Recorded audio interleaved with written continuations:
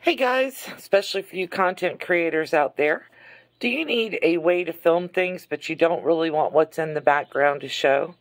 Let me show you something really easy to use. This is a notebook from the Dollar Tree. I'm going to prop it up here. I have a little bit of fabric that I think is pretty. And I'm going to prop it up across my notebook. And I have a quick, easy, inexpensive backdrop to use to film anything I want to film. It shows things off nicely. I can set something down there and I can adjust my camera angles so that it only shows the item that I want to be seen. Stay tuned for more fast and frugal tips for content creation from Practically Creative.